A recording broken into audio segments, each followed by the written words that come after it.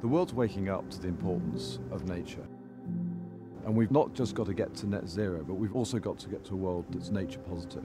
So, so the two things need addressing side by side. And I think what we need to do is move from a world where nature was addressed simply through philanthropy to a world where nature is addressed through, the, through bigger forces and we can start to understand how finance can come to really help nature in a positive, constructive, consistent way.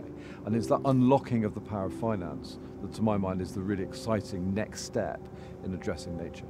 Nature-based solutions can perhaps hit 30% of what is required to hit our Paris targets.